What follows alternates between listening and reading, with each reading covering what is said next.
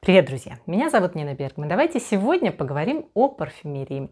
В связи с тем, что у меня недавно была лекция в парфбаре Гамбург на тему бюджетной парфюмерии, я решила записать ролик. Вообще-то изначально был план такой, что это будет один ролик, но когда я собрала все ароматы, про которые я рассказывала в парфбаре, я поняла, что в один ролик мы не уложимся, и роликов, скорее всего, будет прям целых три.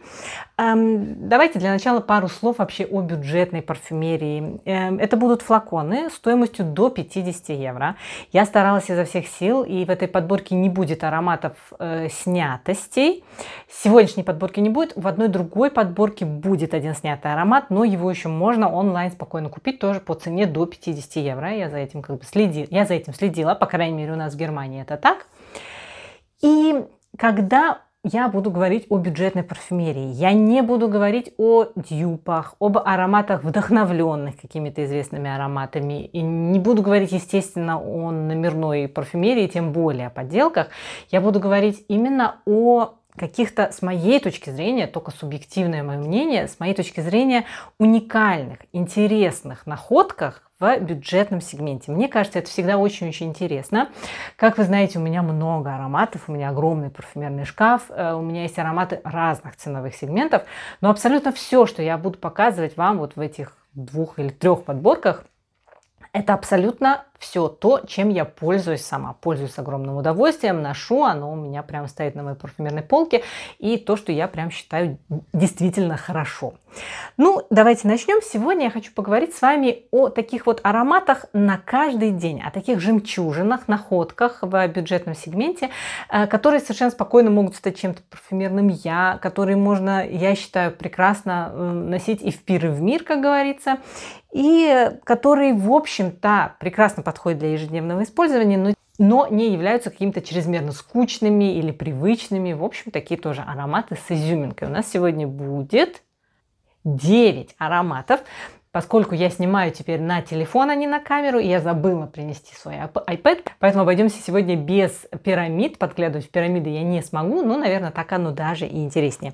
Э, некоторые из этих ароматов вы, конечно, знаете, я вам их уже показывала. Некоторые ароматы, наверное, будут сегодня показаны впервые, потому что я, когда готовилась к лекции в Парбар, я, конечно, несмотря на то, что я, в общем-то, на пар в диете, и у меня ноубай, я пару ароматов все-таки прикупила со скидкой на то, ну я же готовлюсь к лекции, ну это же не для меня, это же для лекции.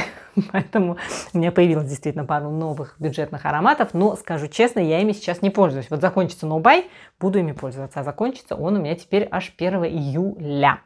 Итак, первый аромат который я хочу вам показать, это аромат Celebrity Сара Джессика Паркер Ковет. Его я уже много раз показывала, мне кажется. Очень красивый аромат. Мне кажется, в пирамиде заявлен шоколад и лаванда, а мне это пахнет э, прежде всего виноградом почему-то. Я его поэтому очень люблю носить вот конец лета, ближе к осени даже, наверное. Ой, боже, какой красивый аромат. А вот сейчас я его обоняю и слышу очень приятную лаванду, какую-то цветочность, э, виноградность, вот эта вот моя, которую я здесь очень люблю и слышу достаточно активно, тоже есть, но она здесь сейчас не главенствует. Вообще, мне кажется, что этот аромат очень зависит от погоды и от настроения. И этим он, конечно же, еще интереснее. В общем, обратите на него внимание. Вот сейчас он мне, правда, пахнет э, лавандой, немножечко такой ванилью, виноградом, как я уже сказала, но далеко это все не на первых сейчас ролях. И, возможно, немножко мускуса здесь тоже я сейчас слышу, который придает композиции мягкость. сейчас он для меня звучит очень мягко. Красивый аромат, с удовольствием, как я уже сказала, ношу. Эм, Каверт Сара Джессика Паркер.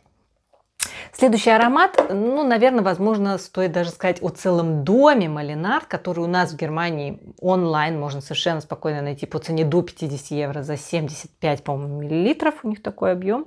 Да, 75 миллилитров. Э, вот эта вот фиолетовая линейка солифлоров, она, в принципе, вся очень и очень достойная.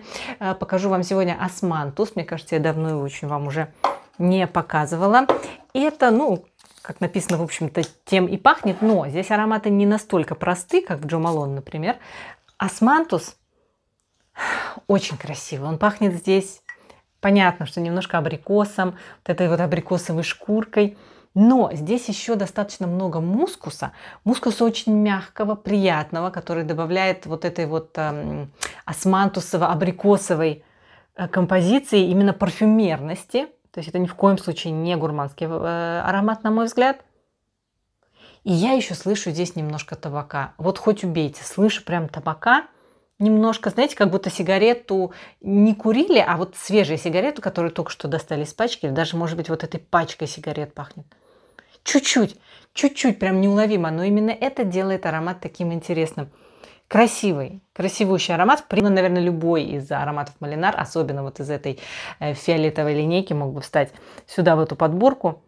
Очень красивый аромат. Рекомендую горячо. Следующий аромат взяла у дочери. Я им не очень сильно пользуюсь, но рада, в общем-то, что он у нас есть. И вообще к марке я очень благоволю. Это марка 4711. Эм, у них, конечно же, огромное количество всяких разных поливашек. Есть очень прикольные, есть не очень прикольные. И пока они стоят, вот, я не знаю, там сколько, 20 евро, к ним нет абсолютно никаких, никаких вопросов, все прекрасно. Вот к этой черной линейке, которую они недавно выпустили, у меня вопросики. У меня есть sample set. Оля, еще раз огромное спасибо за подарок, если смотришь.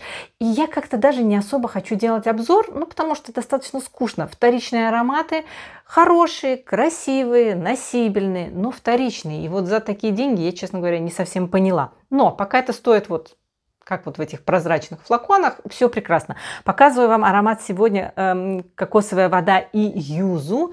И, в принципе, вот моя потребность в кокосе этим ароматом закрыта. Кокос здесь не кремовый, он очень бодрый, благодаря юзу, наверное. Он такой прям свеженький, я бы сказала. И на лето тоже прекрасная поливашка, когда жарко, когда хочется кокоса немножко. Кокос, кстати, достаточно быстро исчезает, остается юзу. Ну, как бы цитрусы летом тоже ничего плохого не могу сказать. Достаточно много мускуса, поэтому тоже, если его часто-часто обновлять, может потом засесть плотно вот эта мускусовая база. Я, честно говоря, не пробовала, я им поливаюсь один раз, он слетает с меня, и потом я поливаюсь чем-то другим. Прекрасно, великолепно. Вот такой вот кокосовая, кокосовая водичка великолепная великолепное развлечение. Следующий аромат, ну, конечно же, не могу не показать вот этот флакон. Это аромат от дома Pepe Jeans, по-моему, называется Celebrate. Как правильно, я еще обязательно напишу. А, он у меня был уже достаточно давно. Этот флакон я им с удовольствием пользовалась, потом подарила. Подарила не потому, что он мне чем-то не подошел, а просто, ну, мне, ко мне пришла в гости девочка, которая очень понравился, и он очень ей подошел, на мой взгляд. Я его подарила. А потом я вернула, вернула этот аромат себе в парфюмерный шкаф, и мне кажется, это уже о многом говорит. Несмотря на этот флакон, который некоторые назовут прикольным, некоторые ужасным, ну, я как бы, не знаю, я где-то посередине. Иногда он меня веселит, иногда он меня раздражает. Это аромат очень тоже красивый, на мой взгляд. Он пахнет белыми цветами и каштаном он очень необычный, на мой взгляд, благодаря каштану. И э, для меня это аромат на холодное время года. Я им с огромным удовольствием согреваюсь в холода. Даже не то, что согреваюсь, он особо, не могу сказать, что он как-то теплый, обнимающий, он просто очень приятный. И вот эта вот нота каштана дает ему какой-то уют. В холодное время года великолепный, совершенно интересное звучание, на мой взгляд – Рекомендую прям очень-очень активно его к знакомству. Прекрасный аромат. Celebrate стоит 20 евро или 15. Ну, в общем, от 15 до 20 евро. Здесь, правда, 30 миллилитров. Да? Но, тем не менее, держится, кстати, неплохо. Часов 5 на мне сидел. Я у себя слышала очень так достаточно устойчиво. Следующий аромат ну, конечно же, Невея. Какое, какая подборка могла обойтись без него? Мне кажется, что этот аромат продается только в Германии, к сожалению. Он пахнет прямо кремом Невея. Вот прям Невея, Невея. Как вот крем из банки открываете, он так он и пахнет. я считаю, что он идеально подходит для офиса, для любых профессий, когда вы находитесь на близком расстоянии с людьми. Он достаточно громкий, его слышно. То есть это не так, что вот он прям сидит близко-близко к коже, но он пахнет кремом Невея, то есть он, мне кажется, не может абсолютно никого оскорбить, и я считаю, что в нем очень комфортно, я сама с огромным удовольствием носила его на работу, я помню, что пару лет назад, когда я перешла на новую работу, в новый офис, и эм, еще проходила там обучение, то есть я находилась прям вот в непосредственной близости к человеку, который меня учил. Я поливалась им достаточно долго, прям недели две подряд.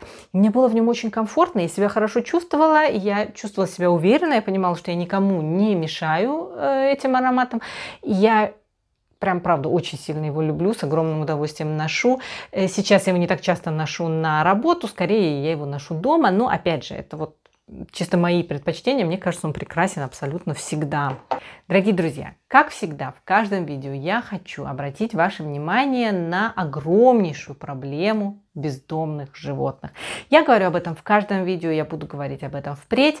Я помогаю Софии Фурмановой, моей парфюмерной подруге, прекрасному парфюмерному блогеру. Ссылочку на ее канал, на ее телеграм-канал я, конечно же, оставлю в описании к этому видео, как всегда.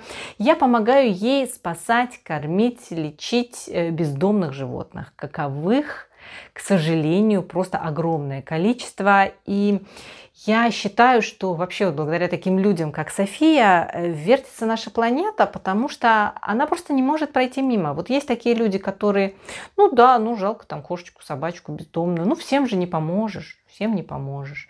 А вот София считает, что надо помогать э, тем, кому ты помочь можешь. И я считаю, что это очень круто, очень правильно, и я стараюсь ей в меру сил в этом деле помогать. К сожалению, к сожалению, любая помощь в современном мире упирается в деньги. Еда стоит деньги, лекарства стоят деньги. У нас сейчас пять собак, которые находятся только на нашем попечении, находятся на передержке, две из которых находятся прямо на очень дорогой передержке, потому что одна из них старушка Альма, другая Чуня с огромным просто там букетом диагнозов, который нужен специальный уход. В общем, на все это нужны деньги. Плюс э, постоянно какие-то еще люди обращаются а, с просьбами о помощи, и просто невозможно пройти мимо, когда видишь такое количество страданий э, животных. И я считаю, что это ужасно несправедливо, что животные страдают из-за человека. И я считаю, что это просто наш долг с вами хоть как-то облегчить страдания хоть кого-то из них. Поэтому, ребят, я призываю вас, как всегда, пожалуйста, присоединяйтесь к нашей помощи. Все реквизиты есть в описании к этому видео. Можно переводить на PayPal, можно переводить из Европы.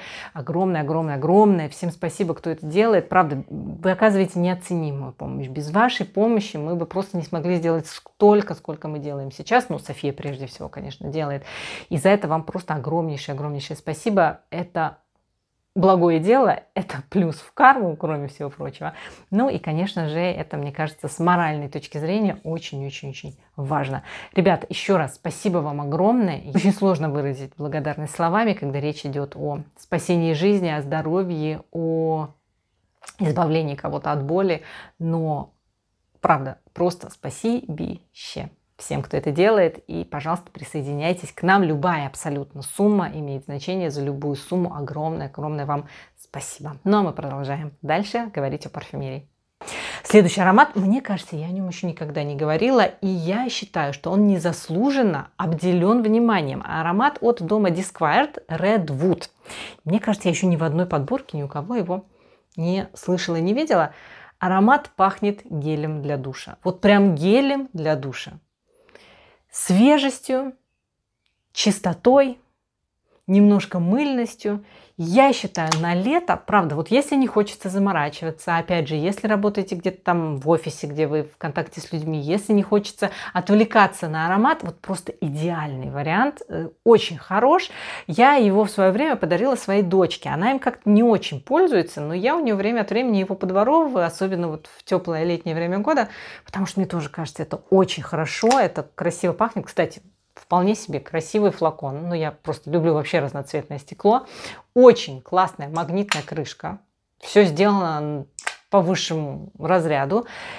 Единственное, ребята, я не проверила, сколько он сейчас стоит. Раньше он стоил до 50 евро совершенно точно, что-то евро за 30 я его покупала. Но я надеюсь, что это так и осталось. В общем, но я все равно вам его показываю, потому что он очень-очень-очень крутой, на мой взгляд. Следующий аромат Аметист Лалик. Это флакон не мой, я его взяла из парфбара. У меня был флакон, он у меня заякорился, к сожалению, не с очень хорошими событиями, но это было очень давно. И мне кажется, что этот якорь уже прошел. И я его обязательно, обязательно верну в свой парфюмерный шкаф, когда у меня закончится No Buy. Это, на мой взгляд, прям, ну, лучшее, на мой взгляд, только на мой взгляд, лучшее черная смородина, немножко она с сахаром, чуть-чуть она кисленькая, очень правдоподобная, без кошачьих лотков, вообще даже близко этого ничего здесь нет. Я знаю, что она кому-то пахнет химозно, поэтому все равно без затеста, без разноса, прям такого, наверное, лучше не брать. Я здесь не чувствую химии никакой. Нежнейшая, прекрасная, сладковато-кислая черная смородина, великолепно на лето, просто прекрасный аромат, аметист, лалик. Тоже очень нравится все, очень нравится флакон, очень нравится цвет, форм-фактор, все прекрасно. Идеально. Идеально. Ну и, конечно, такая подборка легких бюджетных ароматов не могла обойтись без аромата Green Tea от Элизабет Арден. Ну, мы все его знаем. Кто-то его любит, кто-то его не очень любит. Для меня здесь даже не столько чай, сколько вот, правда, может быть, какая-то вода с лимоном, с мятой. Все это очень свежо, очень по-летнему, очень классно им поливаться.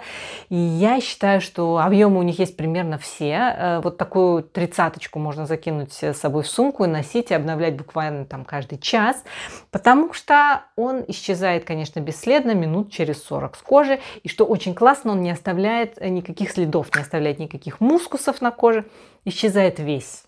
Абсолютно, и это классно, потому что, правда, можно обновить. Он дает ощущение легкости, свежести, прекраснейший аромат. Элизабет Аден Грин Ти, все мы его знаем, ну и многие из нас его любят и с удовольствием носят. И последний аромат из сегодняшней подборки – это аромат от дома Луис Варель Amber Extreme. Я очень много уже про него рассказывала. Для меня это аромат на холодное время года.